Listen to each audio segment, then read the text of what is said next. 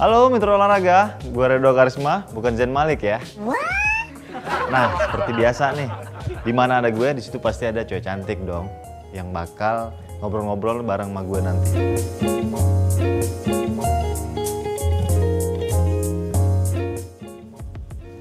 Eh, Ica ya? Siapa lo? Lupa sama gue. Siapa sih so ganteng banget? Aduh. Ica kan Marisa kan? Iya lo siapa sih? Gue Redo. Oh Redo. Iya, lupa ya? Redo si Sleeping Beauty kan? Hobinya tidur. Jangan disebutin kayak gitu. Gue udah ngelupain. Apaan? Kemarin aja pergi apa gue masih tidur loh? Itu kan kemarin, sekarang kan beda. Tampilan gue juga udah beda sekarang. Oh gitu, terus lo mau ngapain di sini Nah. Redo? Cek gue mau ngobrol nih sama lu. Kenapa kayak lo masih kayak gitu sih dok? Bisa aja kali. Halo Ca, apa kabar? Baik Redo, apaan sih Redo? Lo mau menggantikan posisi gue jadi presenter? Hmm, menurut lu gimana? Nggak cocok sih dok, bener sumpah Kenapa? cocok. Dari, dari segi mana? Nggak cocok. Menurut lu persepak bolaan Indonesia sekarang khususnya di Liga Satunya gimana? Dok, serius banget bukan. Eh, menurut gue Liga 1 sekarang itu bakalan seru banget. Soalnya kenapa? Soalnya kayak tim-tim yang kemarin kemarin masih di Liga 2 ya kayak Hmm. Persebaya, PSIS, terus PSMS juga itu bisa masuk ke Liga 1 nih sekarang. Uh, ya jadi bisa kayak dulu lagi. Ingat kan lo dulu zaman Yang dulu? waktu sebelum masih sebelum kita ini. Liga 1 di sebelum eh, sebelum eh, Sebelum Liga 1 masuk Liga di 1, band ya iya. waktu itu ya. Nah, kayaknya itu bakalan seseru yang kemarin-kemarin nih. Tapi coba kita lihat aja ya. Semoga bener-bener seru banget karena tim-tim besarnya banyak. Kalau menurut lu sendiri nih, soal timnas gimana? Timnas dengan adanya pemain naturalisasi. Pandangan lu deh gimana? Kalau menurut gue sih kalau buat pemain naturalisasi sebenarnya bagus ya. Karena di setiap di setiap negara mana pun juga pasti ada pemain cabutan dari dari luar kan Iya. kayak gitu. Ah. Nah, kenapa? Ka- Karena menurut gue itu bisa memotivasi buat pemain-pemain lokal buat bisa bermain lebih bagus lagi, bisa berkom bisa bersaing seenggaknya sama pemain-pemain bukan bersaing dalam pengertian yang jelek ya, tapi bisa mengadu kekuatan dengan pemain-pemain yang as pemain-pemain asing. Pemain lokalnya juga. Iya pemain lokalnya juga gitu. Jadi kan terpacu tuh kayak gitu, terpacu untuk bisa jadi lebih baik gitu loh. Pengalaman lu deh sebagai presenter selama ini, Ah, apa? yang menurut lu berkesan, paling berkesan. Selama Maksudnya jadi selama jadi presenter. Lu kalau nanya yang jelas maksudnya jadi apa nih? Ter- berkesan apa? Ya ampun nih contekannya lu baca dulu deh. Cak jangan bocorin ah malu gue. ya udah nggak apa-apa bacanya dulu Iya. apa-apa. Pengalaman yang gak terlupain deh selama lu jadi presenter. Pengalaman yang gak terlupain sama jadi presenter adalah barengan sama Redo. Kenapa tuh? Lu barengan sama gue?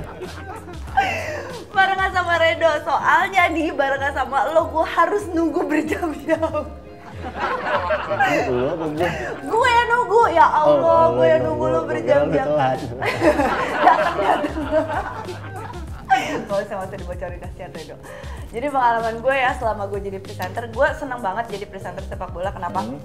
Karena basically memang gue suka sport ya Terus gitu gue suka bola Terus em, gue senengnya gini dan lagi gue nggak kerja di nggak kerja di dalam studio kalau di dalam studio kan kita cuma begitu aja tapi ini kan kerja di lapangan bisa lihat Iya. mereka latihan terus bisa lihat mereka apa namanya bisa bisa ngobrol Bisa sama mereka langsung langsung, beradaptasi interaksi lah ya. langsung Iya, kayak gitu langsung. jadi menurut gue kayak ngelihat ngelihat seperti itu terus bisa kunjung-kunjungan ke mana-mana misalnya kayak ke em, misalnya ke stadion mana gitu lagi lagi tim apa lagi Iya. bertanding kayak gitu kan nah menurut gue itu berkesan banget soalnya kan jarang-jarang kalau misalnya kita cuma presenter di studio kita nggak akan pernah dapet itu tapi kalau misalnya kita presenter outdoor kayak gini kan Hmm, seneng ya? seneng lah Ada rasa tersendiri. iya Pernah nggak lu tertarik sama pemain bola? aduh Redo lu kepo banget sih jadi orang pengen tahu aja urusan orang Pengen dong, gue pengen tahu. kenapa sih dok emang penting banget ya buat lo Kalau buat gue sih mungkin penting ya, karena untuk ngurangin saingan gue. Emang gue mau sama lu dong? Pertanyaan itu. Gue mau sama lu dong. Kayaknya dari dulu bercandanya Redo adalah sama. Selalu begitu. Selalu begitu, tapi bermasalahnya gue gak mau sama lu. Ada deh, mau tahu aja. Bisikin gue dong. Oh jadi yang itu, Siapa? yang lu bilangin barusan, Siapa? gua bocorin. Enggak, enggak. Mulai kan? Tapi bukan gue suka ya. Hmm. kalau sepak bola nasional idola lu siapa sih? Sepak bola idola lu deh. Gak mesti nasional juga. Ah, nasional boleh. Beda yang di luar juga. Yang Kalau gue sih, kalau gue sih dari siapa? dulu gue seneng banget sama Wesley Snyder. wishlistnya. Dari dulu. Belanda Belanda juga ya. Masih Apa sih ya. dok? Tadi tadi kayaknya ada Oh, Belanda Belandanya itu. Eh, enggak lah, pokoknya gitulah. Eh, Itu pemain ya, idola gue karena ya itu pemain idola gue dari dulu. Jadi dari dia zamannya dapet dapet apa sepatu emas kayak gitu Hmm. ya kan. Kalau lokalnya siapa ya? Aduh mau tau banget sih enggak ah rahasia. Selain yang tadi deh yang lu bisikin sama gua. Aduh pokoknya rahasia rahasia. Terus harapan lu nih, Cak? Harapan gue buat sepak bola Iya, Indonesia. buat sepak bola Indonesia. Pokoknya gue pengen sepak bola Indonesia tuh tambah jaya terus ya, tambah sukses segala macam. Kalau misalnya ada kekurangan dibenerin cepet-cepet. Kenapa? Karena gue pengennya pengennya kita tuh bukan cuman bagus, bukan cuman kita bisa bersaing antara Iya. sesama tim aja di, di lokal ya di Indonesia aja atau cuman atau cuman se Asia Tenggara. Tapi gue pengennya tuh bisa nyampe ke nyampe ke Piala Dunia Dunia, gitu. iya. Gimana caranya Bisa deh ikut- gitu, ikut bisa ikut. Piala Dunia gitu sangganya kan. Em, kayaknya kan itu jadi kebanggaan tersendiri buat Indonesia ya apalagi itu kompetisi paling bergengsi di dunia gitu Pasti, pasti. gitu jadi Tiap harapan juga harapan gue cuma satu Indonesia bisa ikut Piala Dunia itu aja Kali ini gua mau ngajakin lu main games. Mau nggak? Siap Gue ya? nih main games nih Siap nggak kira-kira? siap Siap ya? ya Cuman gue nanya dua pertanyaan, lu jawab uh, antara pilih yang A atau yang B gitu. Ya? ya Gue mulai aja ya. Iya. Gue kasih pertanyaan yang mau pertama. mulai sekarang atau tahun depan Sekarang dong. Ya udah, Tahun depan lamaan. Ah, ya, Ya. duluan. Oke, yang pertama gue tanya sama lu, lu cukup pilih salah satu dari yang gue tanya. ya Jadi presenter bola atau main sinetron? itu kan dua-duanya profesi gue Ya lu. Ini choice. nggak bisa Gak bisa. nggak bisa susah dua-duanya Lu lebih tertarik nonton sepak bola itu di stadion apa di TV?